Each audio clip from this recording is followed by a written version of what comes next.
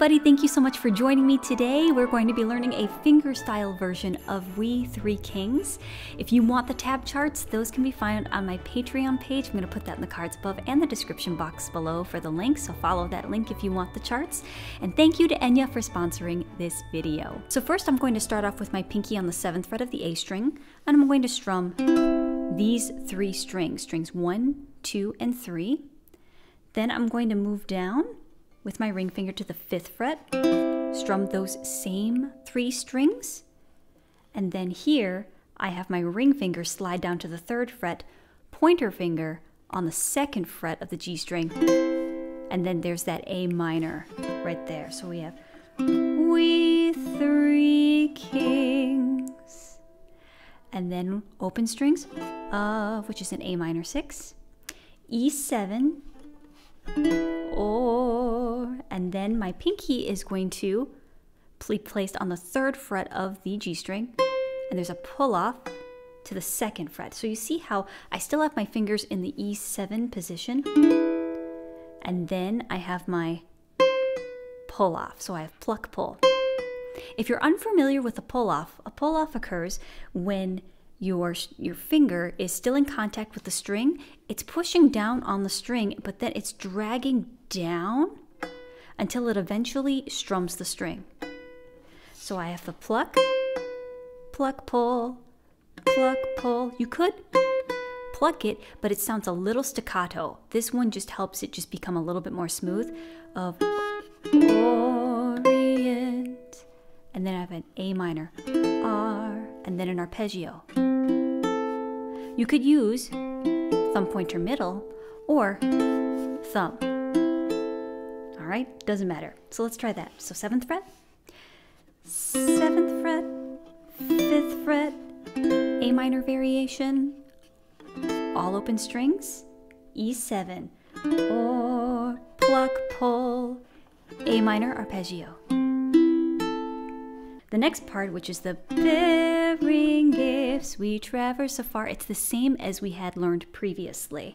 So we bearing gifts we trap, pluck, pull, A minor arpeggio. Field and fountain, we have a C chord. We're going to strum all strings. Field and. Now, here is a G chord variation where you can bar the second fret place your middle finger on the third fret of the E string and pinky, fifth fret of the A string. Or what you can do is just pointer, middle, pinky. You do not have to bar at all. It's only if you want to, if you're feeling Olympic. Fountain. Now here we have, it's, it's a G shape, but we're gonna slide up all the way to the seventh fret and ring finger to the eighth fret. This is another C chord. So a field and fountain. So looks like this, C chord, field and, then we have our G, fountain, seventh and eighth fret, more and. Now here we have 10, 8, 7, mountain. But if you wanted to make it a little sweeter, I'd say slide up. I'm gonna start probably around the eighth fret, slide up, mountain. So I'll do it again. You see that? Mountain. So we have field and found. G shape, seventh and eighth fret. And then slide. Following yonder star, bar the fourth fret, and then ring fingers, our middle finger is going to be on the fifth fret of the A string. Strum all strings. Now my pinky is going to reach for that seventh fret, and then I release the pinky because I'm already here on the fifth fret. So I have strum seven, five, E7 with the pinky, yonder, A minor. So you see with the E7, I have yonder, or I can kick it out with my ring finger, yonder, star, A minor. So field and fountain, more and mountain. C chord and found, it's in seventh and eighth fret, more seven, fourth fret bar, seventh fret, fifth fret, and then we have our E7, second fret, A minor. Now we have the O Star of Wonder, Star of Light. We have an E7, and then we have that bar chord, E7 variation, okay? You could strum the O again, but it's still, you have that, just that awesome variation, that different voicing. It's gonna break you out of that comfort zone if you've never played it before.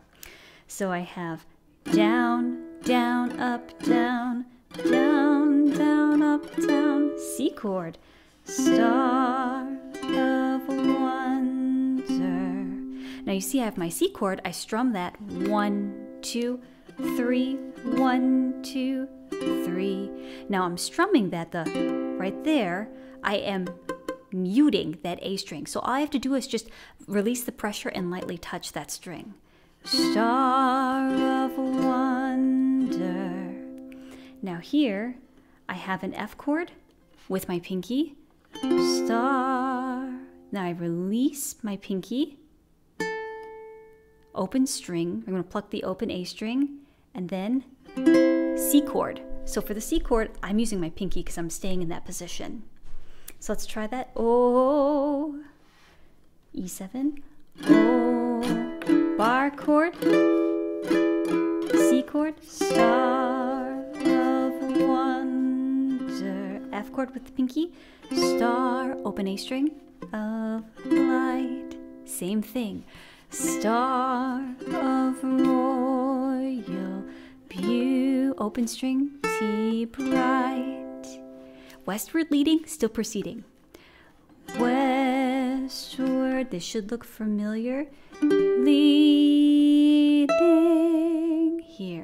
Now here we have 8, 8, 9, 10. You could do it this way. Here.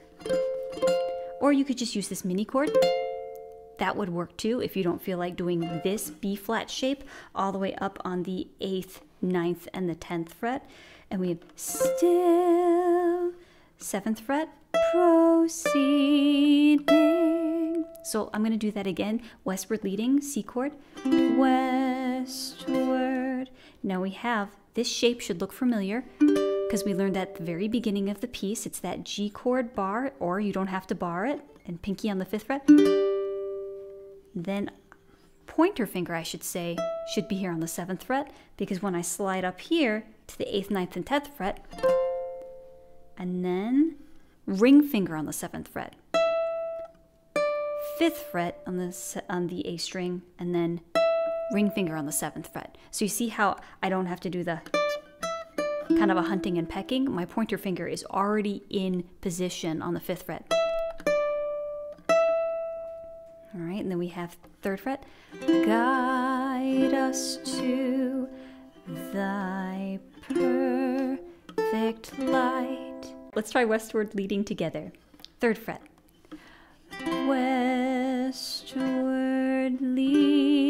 westwardly. Seventh fret. Now we have 8, 9, and 10. Still proceeding. Third fret. Guide us to thy perfect light. You can hear how everything fits together in the play along, and I hope you enjoy it. Two, three.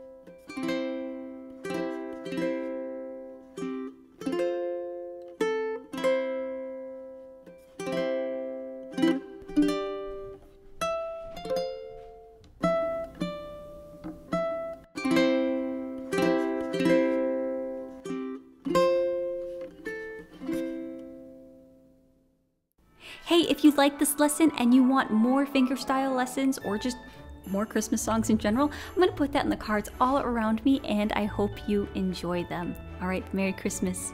Bye. Yeah. What'd you say? Are you just about done? Yes. If